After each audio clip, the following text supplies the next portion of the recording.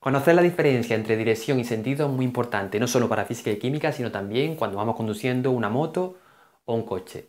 Soy Ricardo, profesor de física y química, bienvenidos al canal. Como digo, en física y química es muy importante conocer la diferencia entre dirección y sentido, sobre todo las magnitudes vectoriales, donde para que queden perfectamente definidas hace falta conocer ambas. También en educación vial es muy importante porque muchas señales de tráfico pues, no hacen referencia a dirección y sentido, sobre todo eh, prohibición de cambiar de dirección, cambiar de sentido, etc. Entonces es muy importante para evitar multas, ¿vale? Bien, aquí tengo en la pizarra ya la, la definición de una otra, ya la tengo puesta, por ejemplo la dirección, y pone lo siguiente.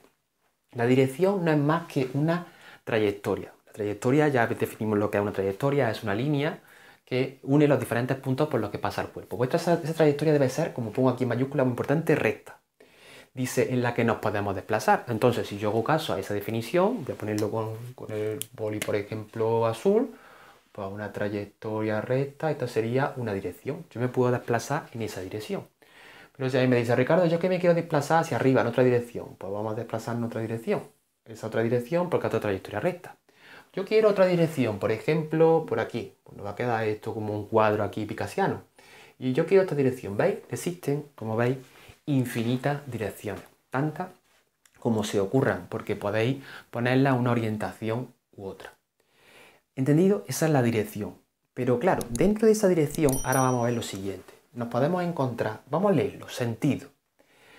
Son los dos posibles movimientos que podemos realizar dentro de una dirección y que nos permite movernos en esos sentidos. Voy a pintarlo ahora con el boli rojo sobre la, dirección, porque cada dirección tiene dos sentidos. Entonces, yo me puedo desplazar hacia acá, esto sería, por ejemplo, esa dirección, llamámosle horizontal, sentido izquierdo, o me puedo, me puedo desplazar hacia la derecha, sentido derecho. Y aquí, esto es una dirección que podemos decir que es vertical. En esa dirección vertical me puedo mover en el sentido hacia arriba ¿veis? o en el sentido hacia abajo. Y aquí también habría dos sentidos, el sentido para acá y el sentido para acá, y así, y como os digo, de infinita manera. Por lo tanto, la dirección y el sentido, como veis, es totalmente diferente y es muy importante conocerlo en física y química. Bueno chicos, hasta aquí el vídeo de hoy ha visto qué corto ha sido. Nos vemos en el siguiente, que os prometo que va a ser mucho más largo. Bueno, no, broma. Hasta la próxima. Chao.